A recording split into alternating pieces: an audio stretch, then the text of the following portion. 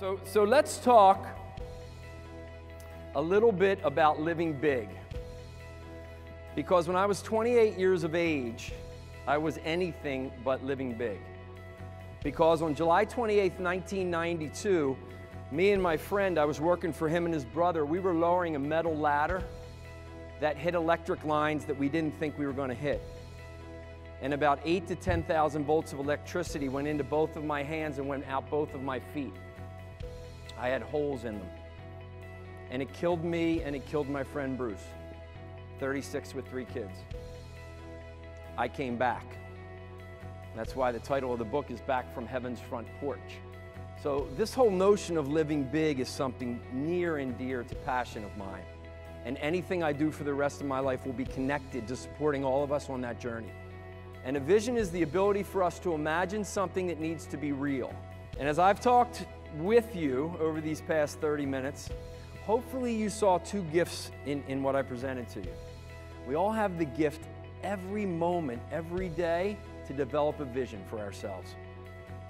Even when life sucks, here's the question what's it going to be like when it doesn't? That's your vision. The characteristics of a strong vision are this it's a prediction of your future. It's in the past tense, it's already done. I'll talk to you about that very clear and detailed. You think about something in detail, right? It creates that energy inside of you. Motivation usually comes outside. Inspiration is, you know, it's inside. It's a good inside game. So think to yourself, what in your process of going the distance do you do to inspire yourself? Do you have the same energy Monday morning as you do Friday? First one's develop vision, create reality. Vision is the ability for us to imagine something that's not real. Look, the culture of your company is, and as it continues to grow, the collective space of all of your beliefs. So, my hope for you is that our time today got you to a place where you're going to start to apply some things in your question marks that are going to generate a whole lot more happiness for you and a lot more fulfillment. There you go, because your brain is. How many have children? And they go, Mom, Dad, I cleaned my room, I cleaned my room. And you look it and go, oh, we have to define clean, but good job, good job, working on it.